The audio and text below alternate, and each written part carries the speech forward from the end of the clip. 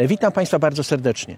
Przed kilku laty nawiązaliśmy bardzo bliską współpracę z panem profesorem Marianem Zembalą, jednym z najwybitniejszych światowej sławy kardiochirurgów, bliskim współpracownikiem profesora Zbigniewa Religii. Przez ostatnie lata zorganizowaliśmy wiele spotkań młodzieży z panem profesorem, mieszkańców, seniorów. Dzisiaj z wiadomych przyczyn jest to niemożliwe, ale pan profesor o nas nie zapomniał. Jako wybitny syn tej ziemi, profesor zawsze o nas pamięta. Zapraszam na krótkie wystąpienie pana profesora Mariana Zembali. Witajcie moi drodzy.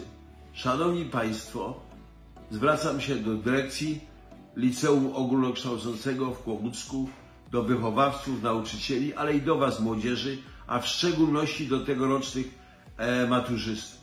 Drodzy przyjaciele, nazywam się Marian Zembala, jestem lekarzem, nauczycielem akademickim, zajmuję się kardiochirurgią i transplantologią i to jest zawodowy sens mojego życia i mówię to z dumą i atencją. Ale pochodzę z kłobuckiej ziemi, z, tej, z tych zielonych płuc województwa śląskiego. Mówię to z dumą. Pamiętajcie, ambitnych. Kilka dni temu oglądałem fascynujący album.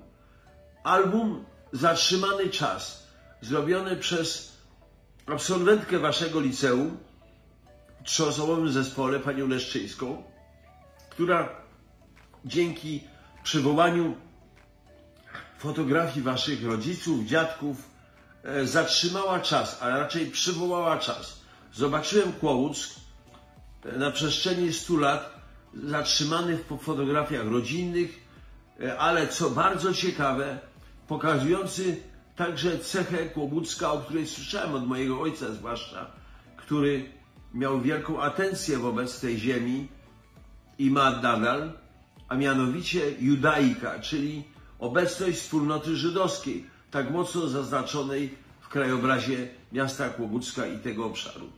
Moi drodzy, łączy nas wiele. Ja skończyłem liceum ogólnokształcące w Krzepicach, a więc niedaleko Kłobucka. Do, do Kłobucka, Częstochowy, Blachowni, Wieruszowa jeździłem bardzo często jako młody chłopak w czasach gimnazjalnych na rowerze wyścigowym, który zarobiłem dzięki korepetycjom z fizyki, biologii, chemii, matematyki, których udzielałem przez trzy lata. Pomagałem e, potrzebującym. Powiem Wam szczerze i z tego jestem dumny. Wśród moich podopiecznych, którym udzielałem korepetycji, była także wybitnie zdolna dziewczyna, która jak zmarli nagle jej rodzice i mama i ojciec, została sama z czwórką rodzeństwa i oczywiście ogrom obowiązków spadł na nią nagle i w szkole zaczęło jej trochę nie, nie iść.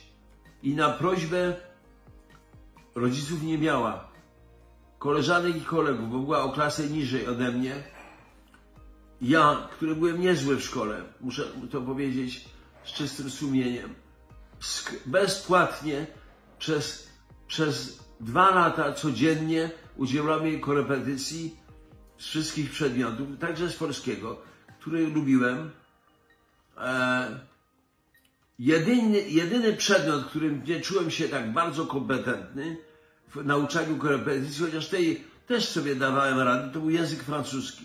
Pamiętajcie, przyjaciele, e, języki obce są bardzo ważne i znajomość jednego języka angielskiego już dzisiaj nie wystarcza. Starajcie się uczyć drugiego języka i każdy, czy to jest niemiecki, angielski, francuski, hiszpański, każdy, rosyjski, oczywiście, rozwijajcie się i naprzód. E, W związku z tym, moi drodzy, jak, pozwólcie, że jeszcze na jedną refleksję.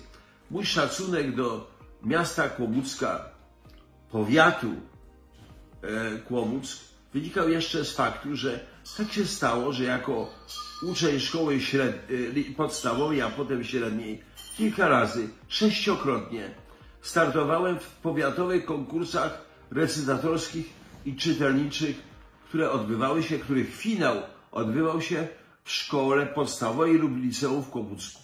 I mogę Wam powiedzieć szczerze, że wygrywałem te konkursy. Do dzisiejszego dnia w moim kochanym domu rodzinnym w Krzepicach, w mojej biblioteczce są, e, są książki z dedykacją za zdobycie pierwszego miejsca, drugiego miejsca, trzeciego miejsca w konkursie recytatorskim powiatowym, czytelniczym, w konkursie Polacy na Morzach Świata, w konkursie zdobywałem te dobre miejsca. Mówię to nie dlatego, żeby się chwalić, ale dlatego, żeby Wam wszystkim powiedzieć, że my z naszych małych ojczyzn mamy otwarte drzwi i okna na cały świat, jeżeli talent, pracowitość, pracowitość, znajomość języków i determinacja, żeby się nie poddawać, tylko wspinać i walczyć o, o, o studia i zdobycie zawodu. I dlatego dzisiaj zwracam się do Was z gorącą prośbą. Pamiętajcie, że przez pewien okres dyrektorem Waszej szkoły, ale i mojej, w Kłobucku, ale i mojej szkoły w Krzepicach był wielki człowiek, współtwórca harcerstwa polskiego i hymnu harcerskiego, dr Ignacy Kozielewski. Te słynne wszystko, co nasze Polsce oddamy. Weźcie to sobie do serca. Weźcie to jako pewną misję wobec Waszych rodziców, wychowawców, wobec Was samych. Idźcie w świat, wybierajcie. Medycynę także zapraszam. A dlaczego nie? Na Śląski Uniwersytet Medyczny, na każde inne uniwersytety według Waszego wyboru czeka na utalentowanych, pracowitych ludzi. Nasza ziemia Kłobucka, ta ziemia, gdzie przecież długoż zapisał się w historii Kłobucka tak, z, tak wielkimi zgłoskami, czeka na Was i nigdy nie zapominajcie o swojej małej ojczyźnie. Szanowni Państwo, drodzy przyjaciele, awanti, naprzód. Wszystkiego dobrego. Trzymajcie się.